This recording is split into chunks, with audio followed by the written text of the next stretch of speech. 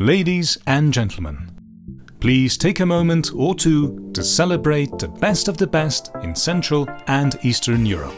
Some customers decide to take one or two key processes and transform these key processes first. Key processes can be HR, it can be marketing, it can be finance. And within such a functional transformation, they try to be very progressive, very daring, and very innovative. The Business Transformation Functional Transformation Award is presented to companies that have transformed key business processes or increased the engagement of their employees. This year's nominees are Metinvest Holding from Ukraine, Asahi from the Czech Republic, PKO Bank from Poland, Modis Bulgaria from Bulgaria, and Monbat from Bulgaria. I'm happy to announce the winner is Asahi and their internally branded SuccessFactors deployment hubs.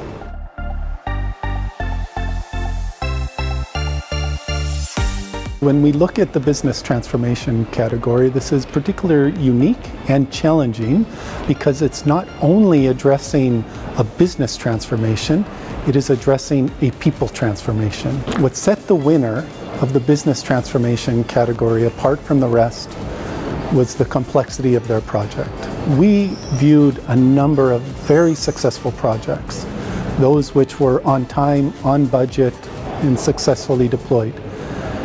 But this particular project addressed seven individual countries within a timely manner. They had a strong business impact, strong involvement, and a well coordinated change management approach.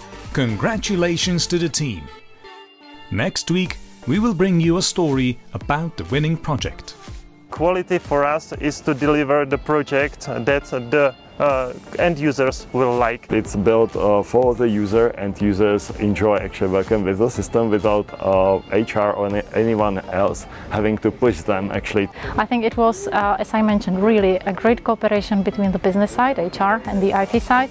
Stay tuned until tomorrow when we will celebrate the best of the best in the category Business Transformation Small and Medium Enterprise Solutions.